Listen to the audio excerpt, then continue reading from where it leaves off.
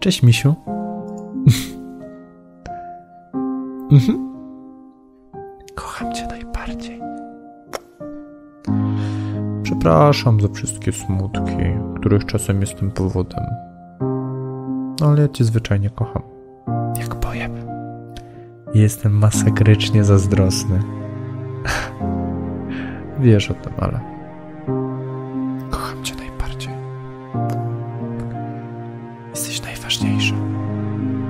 i wiesz o tym.